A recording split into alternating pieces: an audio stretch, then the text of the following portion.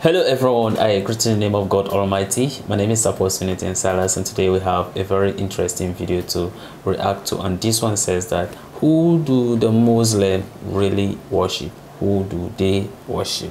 Okay, I believe that this is going to be a very interesting video learning about what they believe in. So if today happens to be the first time of you checking out my channel, don't forget to subscribe to my channel and follow me on my Facebook and Instagram. And if you have any video you want me to react to, don't forget to drop it at the comment section and I'm going to check it out. So guys, before we get on to the video, I'm a theologian and I make this video not to discredit anyone's religion. This is basically for educational purposes and I believe that at the end of this video, we all are going to learn from this. So guys, without any further ado, let's get on to this video and check this out. Who do the Muslim believe in? Hi everyone and welcome back to For All Humans. From a Western understanding, it seems Islam has always been shrouded in mystery. There is so much misinformation and way too much attention is given to the controversial topics surrounding its religion. But does this mysterious faith really preach viciousness and hate? And does it promote the worship of Satan, as some people think? Is it as evil as we are led to believe? Well, for Muslims, the religion is a lot tamer than all that, I'm afraid. For Muslims, Islam is not just a religion that is practiced on Fridays, only to be put away during work and school hours. It does not only concern itself with moral ethics and the way to perform worship, but also includes manners and behaviors, social relationships and interactions, romance and children, even business transactions and politics. To a practicing Muslim, Islam is not confined to holy places, but is woven into the fabric of everyday choices and activities, so pretty much everyday life. When Prophet Muhammad was introducing Islam to his people, only one concept was addressed for 13 of the 23 years of his prophet. No, it wasn't women's veils or men's beards. Wasn't even prayers or what is or isn't allowed in Islam. It was the concept of God and monotheism.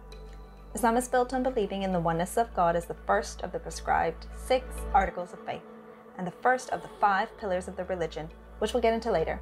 It is the testimony of a Muslim that he or she believes that none other is worthy of worship except God. In fact, Muslim is Arabic for a person who submits to God, which also means someone who adheres to the religion of Islam, Islam being the Arabic word for submission to God's will. Although monotheism is not unique since both Christianity and Judaism also practice it and are monotheistic religions, Islam's monotheism is detailed and precise. There are innumerable books dedicated to just this topic of the oneness of God, or Tawheed as it is called. It's a concept that specifies that God is one and unique, without any rivals, associates, partners, or peers in his essence and attributes. It means believing in Allah alone as God and Lord, and attributing to him alone all the characteristics of lordship and divinity.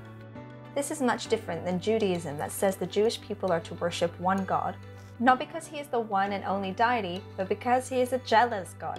You shall not make for yourself an idol or any likeness of what is in heaven above, or on the earth beneath, or in the water under the earth. You shall not worship them or serve them, for I, the Lord your God, am a jealous God. And Islam's monotheism does not allow for a God to have a son, like in Christianity. The God of Islam doesn't share physical attributes with any of his creations, including us mortal beings. While we may have offspring, Islam's God does not. The Quran says, He, God, begets not, nor is he begotten. Remember, he is unique and therefore doesn't share his divinity with anyone or anything else. With that being said, however, Islam does refer to the same God as that of the Jews and the Christians. It is the last of the three Abrahamic religions and it shares the same basic message. Confused? Well, let me try to explain. While the three religions may differ in their nuanced messages, the basic understanding of worshipping God is essentially the same. Belief of one God and the prophets who came to share that message are the same. Calls for love and peace in all three religions are the same. Prayers to a higher power who makes plans for us, that's the same. It's believed by Muslims, however, that it's the same God, the same message, just that the message of the previous religions has been changed over time, and Islam came to correct those changes to get back to the original true message. So let's get down to what Islam is all about. We begin with the core of Islamic beliefs. As mentioned before, Islam has six articles of faith that sum up the foundation of the Islamic belief system that is shared by more than 1.8 billion people worldwide. They are number one, belief in one God. The biggest sin in Islam is worship to other than God. And since worship in Islam is not only in the sense of spiritual activity, but as part of everyday life for a Muslim, worshipping someone or something other than God can mean dedicating your life, your choices, and your actions to something or someone other than God. Number two, belief in angels, who are unseen beings who surround us and are obedient to God. Number three, belief in prophets who communicated with God. These prophets start with Adam and include Abraham, Moses, Jesus, and Muhammad, peace be upon all of them. Number four, belief in the books of God. Muslims believe that God revealed his instructions through books to some of the prophets like the Psalms, Torah, and the Gospel. But over time, the original teachings of these books got distorted or lost. Muslims believe the Quran is God's final revelation given to Prophet Muhammad and that it has been fully preserved. Number five, believe in the day of judgment. It's a day when the life of this world and everything in it will come to an end, and every person will be raised from the dead to be judged individually according to his faith and actions. Number six, belief in destiny and divine decree. Muslims believe that since God is the sustainer of all life, nothing happens except by His will and with His full knowledge. This belief does not contradict the idea of free will. God does not force us, our choices are known to God beforehand because His knowledge is complete. The six articles of faith essentially summarize the core beliefs. There are also five core formal religious rituals of worship, commonly known as the pillars of Islam. Number one, the Shahada, or declaration of faith that there is only one God and that Muhammad is his messenger. This declaration is not a mere statement just to be uttered, but it must be shown in one's actions as well.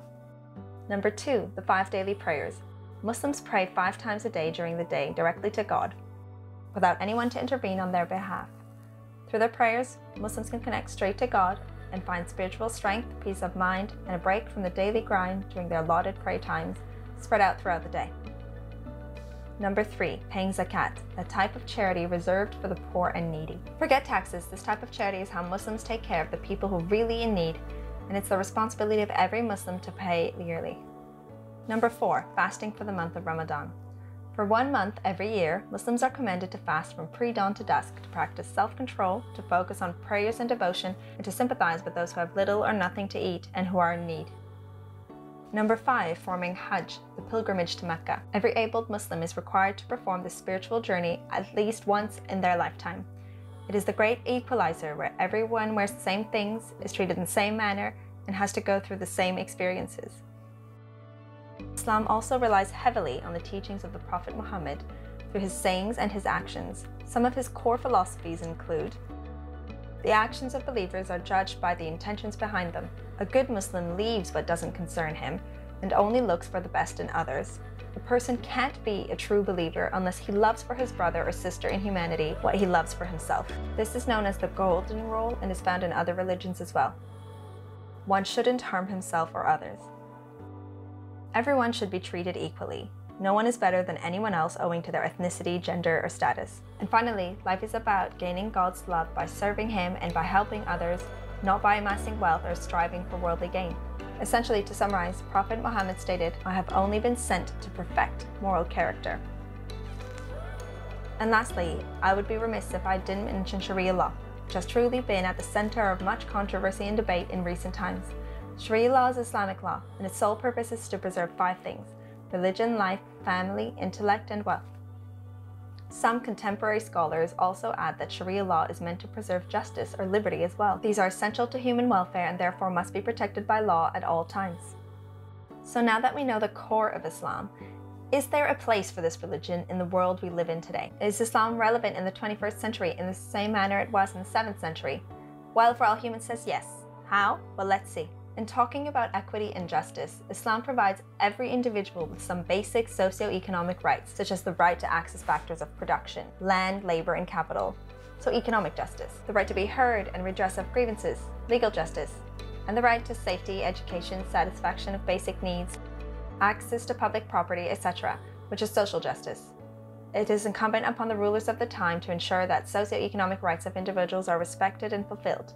As is stated in the Quran, O you who believe, eat not up your property amongst yourselves unjustly, except it be as trade amongst you by mutual consent. The ayah specifies that any form of trade should be conducted upon mutual agreement. Thus, if Islam was the way of the world, some CEOs would not be able to build their companies on the backs of underpaid employees for grueling labor that doesn't allow them the time for bathroom breaks.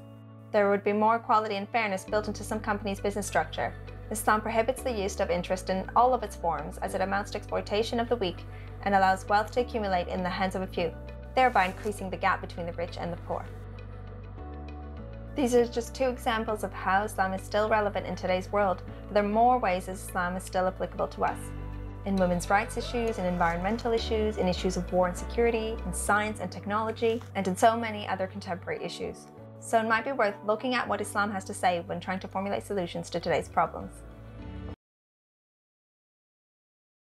well that's a very interesting um, video i think this lady was able to summarize um, islam in 10 minutes and able to like teach a lot of things in a sense about the religion about its um, fundamentals and then some of the things in a sense it stand for and then when you look at in islam in a sense sometimes and then also judaism. And then you begin to ask yourself you understand so many questions because when you look at it of course both of them both believe you understand in that oneness of god. They both don't believe in jesus as god or god manifesting in human flesh. But then in judaism they see jesus as just another rabbi. But in Islam, they look at him, you understand, as just a prophet, okay, a prophet and messenger of God, and not him being the son of God. It is only Christianity that kind of talks about that God manifestation of him, and then therefore then Christianity, then Jesus' resurrection from death now serve as the foundation of um, Christianity. Else otherwise, any other thing in a sentence to seem similar when it comes to love for neighbor and how you should conduct yourself as a believer. When you look at innocent as of that ones innocent, they tend to go hand in hand and then kind of go the same um very direction. But then nevertheless, one thing that all these religions are talking about is worshiping of oneness of God. And as I've always said in my videos that Christians don't believe that there is three god or neither do they worship three god. But then therefore they worship one god. But they only say that god manifests in human flesh. That comes about the jesus christ. And not that they are saying that god they are worshiping what? Three god. That Jesus is another God, the Holy Spirit another God, and then a God the Father another God. No, they are saying that God the Father manifests in human flesh, you understand, and that is the Jesus Christ. And then he did that, you understand, for the atonement of mankind. For man, you understand, to understand that he has sinned, and therefore to reconcile him back to himself. That's just, you understand, the difference. And then any other thing, you understand, is the same thing and jesus didn't just go about and just keep saying that he is the son of god he is the son of god. No that's not just the whole thing. It's just for you to preach and understand about god. It's just for you to understand that look there is someone who created you and there is a need for you to worship that very person. And then he called your attention to that very person who created you right? And then all he is trying to do is to reconcile you so that you don't have to perish right? And therefore call you into that person. That's just what in a sense his message is just basically all about. And nothing about him coming to tell you that he is God or something. No, that's not just the whole thing. It's for you to understand that there is someone and that person is God. And we are saying he manifests himself. We could look at and understand Moses, for instance, on the mountain. When he was in the mountain, God manifests itself. So how do you prove that?